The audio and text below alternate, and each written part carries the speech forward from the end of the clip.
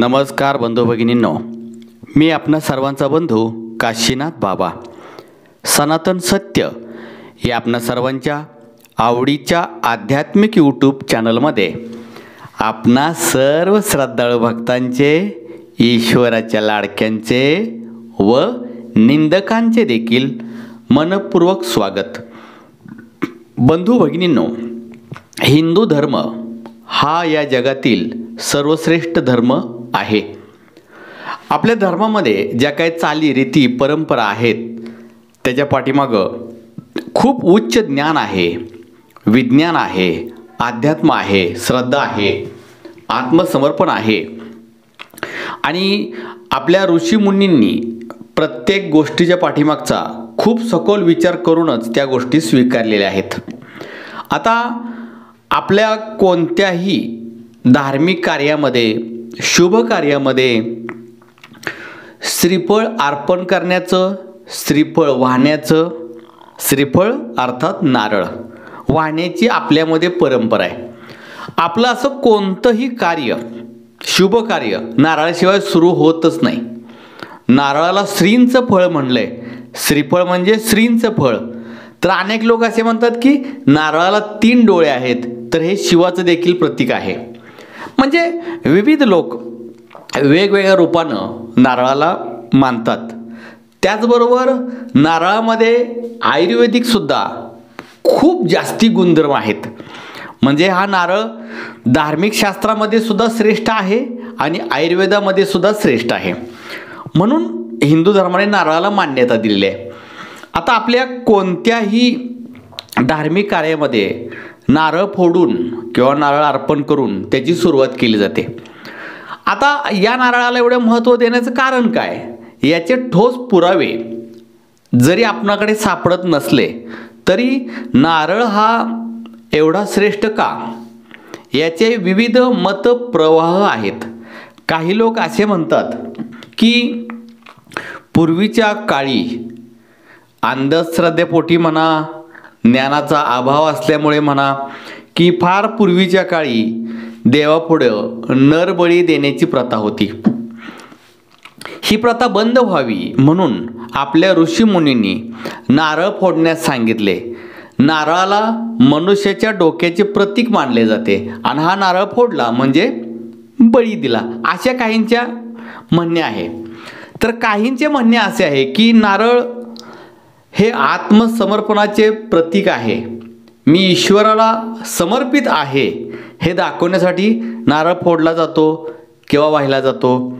तसेच विविध लोक वेगवेगळ्या वेगवेगळे शब्दात बोलत असतात. परंतु याचा उद्देश एकच की या फळाला शुभ मानलं गेलं. आहे परंतु असं हे शुभ फळ ज्यावेळेला आपण देवाला फोडायला जातो आणि देवाच्या पुढं समोर आपण नारळ फोडतो आणि तो ज्यावेळेस नासका निघतो खराब निघतो त्यावेळेला आपल्या हृदयात कुठं ते धस्स होतं. की एवढ्या शुभ कार्यात एवढ्या श्रद्धेने मी नारळ फोडला नासका निघाला मग याचा अर्थ काय? आणि मग अनेक बंधू ढोंगी गुरु आहेतच याचे वेगवेगळे अर्थ लावणारे. तर हा नारळ नासका निघाला की अनेक लोकांना असं वाटतं की काहीतरी अरिष्ट झालं असेल किंवा देवानं हे मान्य केलं नसेल किंवा काहीतरी प्रॉब्लेम असेल म्हणून हा नासका नारळ माझ्या हाती आला आणि नारळ फुटला आणि नासका निघाला. मग काय बरं याच्या पाठीमागचं नक्की कारण आहे? ते मी आज मी तुम्हाला सांगणार आहे. पहा. आपल्याकडे जसे ज्ञान देणारे लोक आहेत तसेच अज्ञान पसरवणारे लोकसुद्धा आहेत. नारळ हे फळ आहे. आणि फळ हे खराब होतं हे आपणास माहीतच आहे. नारळामध्ये काही जीवजंतूंचा प्रादुर्भाव झाला तर नारळ आतल्यात नासतो. आता आपण देवाना देवाला फोडताना नारळ नास नासका निघाला. यात काय मोठं आश्चर्य नाही. कारण भाजीमध्ये घालण्यासाठी किंवा खाण्यासाठी आपण नारळ फोडतो त्यावेळेला सुद्धा अनेक वेळेला तो नासका निघालेला असतो. म्हणजे याच्या पाठीमागं धार्मिक कार्य असं काही नाही आहे किंवा असे काही संकेत पण नाहीत. हे अनेक लोक यातून काहीतरी गैरफायदा पसरवत असतात. नारळ नासका निघाला याच्या पाठीमागे विज्ञान आहे निसर्ग आहे. देवाचा कोप देवानं मान्य केलं नाही वगैरे असं काही नाही मुळीच नाही. हात जोडून माझी विनंती आहे की असल्या कल्पना डोक्यात ठेवू नका. मी ना नारळ फोडला नासका निघाला. संपला विषय त्यात काहीतरी प्रॉब्लेम नारळामध्ये होता. आणि तरीसुद्धा जर तुम्हाला भीती वाटत असेल तर एकच लक्षात घ्या. असं समजा की आपल्या पाठीमागच्या इडा पिडा सर्व त्या नारळामध्ये गेल्या आणि नारळ नाचला त्या अर्थानं सुद्धा तुम्ही असा पॉझिटिव्ह विचार करू शकता. वाईट तर काहीच नाही. त्यामुळे जर देवापुढे नारळ फोडला आणि तो नाचला किंवा घरातला नारळ जरी नाचला तरी त्याचा चुकीचा विचार करू नका त्याचा वाईट अर्थ लावू नका. ते एक फळ आहे ते नाचू शकतं. आणि जर जर असं असतं की तुमच्या पाठीमाग काहीतरी प्रॉब्लेम आहे म्हणून ते नारळाचं फळ नाचलं तर तुम्ही पहिला नारळ फोडला तर तो नासका निघाला? दुसरा फोडला तर तोही नासका निघाला पाहिजे ना? तिसरा फोडला तरी नासका निघाला पाहिजे. जे पण तुम्ही नारळाचं फळ फोडाल ते नासकच निघालं पाहिजे. पण असं होतं का? नाही होत. कारण एखादा नारळ नासका असतो एखादा नसतो. खराब झालेला असतो. त्यामुळे याच्या पाठीमागं काही अंधश्रद्धा लावू नका. प्रेमानं नारळ फोडा नारळ नासका निघाला तर असं म्हणा की पाठी माझ्या पाठीमागच्या इडापिडा निघून गेल्या नासून गेल्या संपून गेल्या. आणि एक पॉझिटिव्ह अर्थ काढून सुखी राहा समाधानी राहा जादा टेन्शन घ्यायचं नाही. आपणच विचार करायचा आपणच त्रास करून घ्यायचा काही गरज नाही. मस्त जगा आनंदात जगा.